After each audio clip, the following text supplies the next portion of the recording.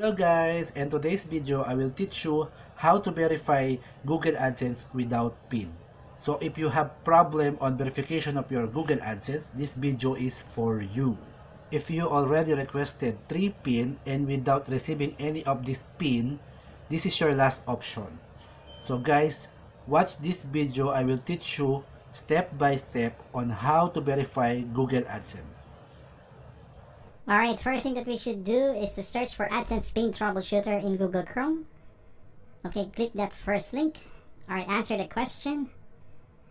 Alright, have you uh, in a threshold? You click yes. Have you received your pin? We click no. Have you re requested three replacement pins?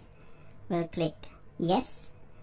And there will be a contact us link that forwards on the pin troubleshooter that requires our requirements.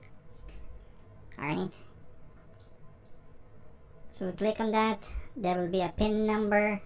Put your name, whatever the name that you request uh, registered on the AdSense account. Contact email address, the same thing. It should be the email address that is saved on your AdSense account. The AdSense publisher number, which is located on your AdSense uh, account as well. Next is we need to upload our identification card. I mean, it should be a government issued ID card with your picture. Alright, or a bank statement that has your valid address, the same address that you save on your AdSense account. Could be a telephone bill, purchase receipt, after which you will receive an email notification from Google AdSense that you have successfully applied for a revalidation of your account.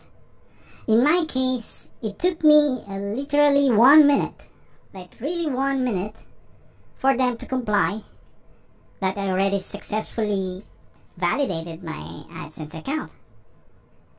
So that quick.